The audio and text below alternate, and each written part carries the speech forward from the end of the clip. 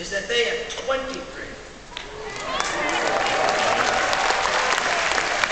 And we have teams on the ground working with their state parties, the RNC Victory Centers, in 14 of those states. Two we have already moved to leading Republican. Eight are in the toss-up column, and we're not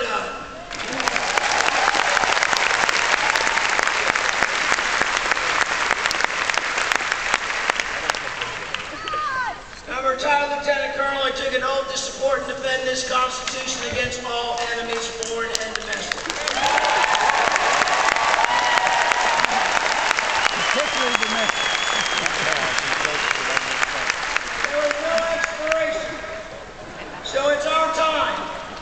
It's our time now because the president that we have right now, when he didn't have a record, ran on hope and change.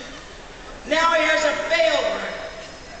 So he's running on fear, and envy. And we're not falling for it.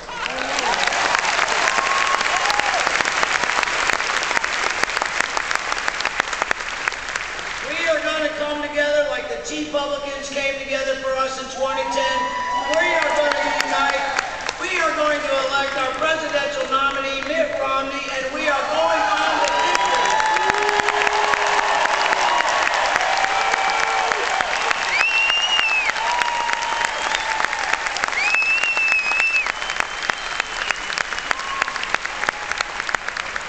Because if we don't win, America loses.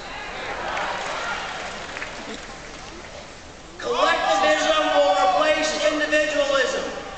Dependency will replace self-reliance. Government will replace our free markets. And presidential mandates will replace our Constitution. Not gonna happen. We have got to come together to ensure that our unique and special and great America starts down the right path. I ask for your vote and your support in your congressional caucus. It's an honor to serve you. I want to continue serving on to victory 2012. God bless.